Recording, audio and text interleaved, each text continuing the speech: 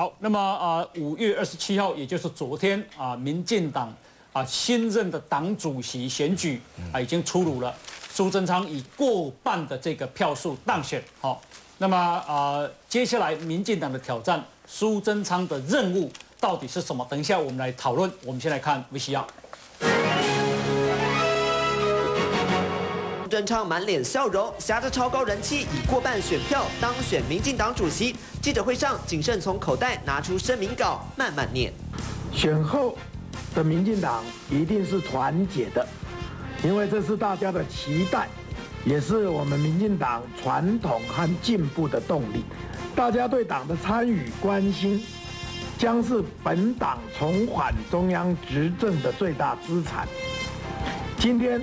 所有的民进党员都是赢家，听得出苏贞昌首要目标就是团结党内不同派系。结果揭晓，民进党总计十六万的党员投票率超过六成八，苏贞昌以五万五千多票得票过半，拿下党魁，大幅赢过第二名的前台南县长苏焕智两万三千多票。但有趣的是，胜选后一盆署名马英九的花篮就已经送到党中央，马苏会有谱吗？如果只是为见面而见面。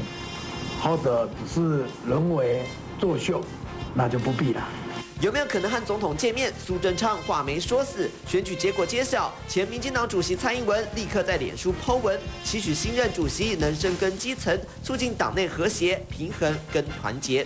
从参选党主席，苏贞昌就面临不少挑战声浪。尽管选举落幕，只怕人和问题还是苏贞昌上任后要解决的最大难题。好，这是自由时报。自由时报啊是这样写的，说怎么团结在一起有待苏贞昌超越。嗯嗯，一个重点叫团结，一个叫在一起。好，另外一个是陈菊、小英希望苏贞昌促进团结，所以 民进党纯洁的看规的，团结 团结团结团结再团结的，要团结就表示现在不团结嘛。嗯，其实苏贞昌动选当主席应该是咧选前大家拢会让预料的。嗯。我嘛甲恭喜讲，伊会当过五成摕到这票，因为其他四个人加起来无伊的票数嘛，所以这表示讲伊也搁咧记载有伊的实力伫的，不管安怎伊是当然。但是外界较奇怪，苏贞昌毋是头一摆做党主席呢，伊正摆是回国第二摆再来做党主席啊哩，所以这只真简单建议苏贞昌，你积极来做的，你要建立团结，毋是一个喙团结团，大家嘛知影民进党派系遮多，你来为你家己身躯做起。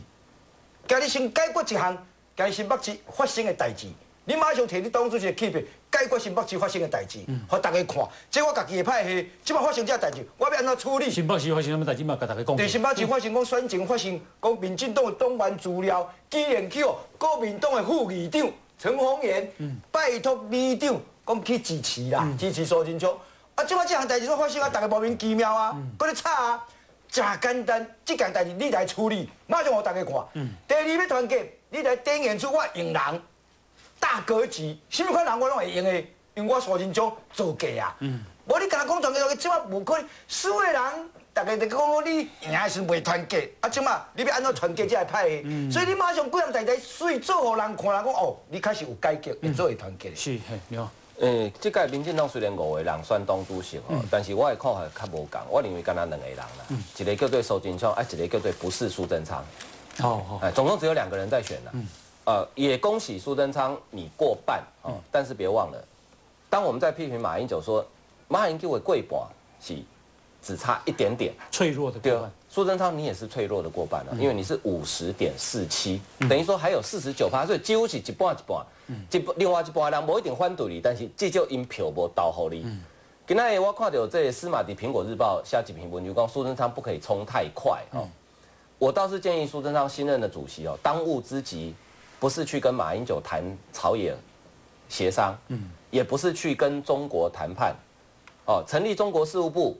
可以，如果你的证件是要成立，慢慢来。我认为上重要是先把党内搞定。嗯，因为你看，你头头看迄自由时报规办哦，拢总是团结，拢总是团结。这代表啥？我定来讲哦，政治任务攻下就代表讲今嘛欠啥了。嗯，巩固领导中心就是就巩固领导中心很危险，对，很不巩固。嗯，大家都在喊团结的时候，显然就是说这个党现在面临到一个团结的问题，就大家现在是不团结的嘛。嗯那怎么把它团结起来？所以我倒是建议苏贞昌哦，你先去，你应该先去拜访的，不是马英九。嗯，你应该先去拜访什么人？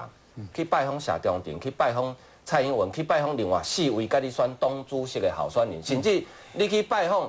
骂你平常以前骂你骂的最凶的人都没有关系，嗯，你你你起码是朱姓嘛，六宽利嘛，嗯，你应该去展现出，因为大说穿了，大家都还是同志，不是敌人嘛，嗯，展现出六系列团结大家的一种企图心，该一种能力，嗯，按那动家也团结了，是，需要苏人讲。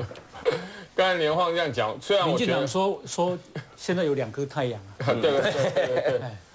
连晃讲哈，就是说去访问，其实哦，访问啊，听啊，书上都认识这些人啦，嗯，也不是说第一次认识啊。我想这，我是说，其实大家会谈团结这个事情，就是对于苏主席的这个形式的这个 personality 跟他的 style 的问题了。好，那另外一个风格呃风格，我我想这个风格，我想他这次选举有想办法要改变，好，也做一些调整。可是你是不是在用人上面，未来政策上面，其实民党做一个党最重要就是提名了。好，尤其二零一四年提名，这上面是不是能让所有人大家都可以接受，而且认为是最好组合？我觉得这是孙昌最重要的责任。嗯，我觉得这也是为什么他这次可以过半的原因。很多人会觉得说，搞不好他最适合来打这个选战。嗯嗯。哦，我想这是孙昌能不能在未来有更多的机会，我觉得是看这一个。嗯。不过刚才你讲到对了，《苹果日报》有个社论讲两个太阳，我觉得现在是民党内哈，因为一个太阳是蔡英文嘛，一个太阳是孙昌，一个是党主席，可是一个是前总统候选。嗯。孙昌最大的困难呢？或最大的大家对他的要求，为什么谈团结呢？因为蔡英文时代很团结，嗯，蔡英文是蔡英文时代。很团结，嗯，好，大家都认为他是共主，嗯，好，我我想这个这个情况之下，所以孙昌的标准会变比较高，嗯，好，因为他之前的党主席不是别人，是蔡英文，嗯，那蔡英文在二零一六年也相当有机会，所以我认为未来民党可能是这两个人在做竞争呐，嗯，那我觉得应该是一个良性的竞争，因为蔡英文也说了，孙昌的就职。他会到，嗯，好，我觉得这就是很好的状况，不要我什么王不见王，好，为什么？因为民党就一个党而已，要再起哦，就要靠这两个太阳如何合作。不过讲太阳也很痛苦，嗯，因为太阳都是很热啊，嗯，两个人不能太接近，嗯，所以这看他们怎么未来怎么协调，然后民党是不是一个好的正面的结果？是，很错。哎，两千零八年哦，民进党无人选党主席，去当中大家讲民进党无救啊。二零一二年五月出来选党主席，大家讲民进党无团结。其实我感觉吼，即届吼表示大家对民进党有期待啦。嗯。啊，这个等于那出马整料出过去就算了。最重要，我觉得有两个指标一定会让民进党团结。第一个，民进党的支持者向来哈对不团结的人都非常唾弃。嗯。好，第二个，你想想看，才刚当选而已，马英九立刻花篮送过来，立刻要求召开什么？要求跟苏贞昌会面。国民党立刻出招了。这样的一个强敌环伺，再加上支持的要求，我认为民进党不团结也得团结。嗯。啊，啊，这个啥？你对民众较有信心吗？不，这这不是讲对是，哎，主要是人民的期待，因为这个在野党想想，只能让大家期待在野党、民进党啊，一定爱团结。啊，要团结第一个动。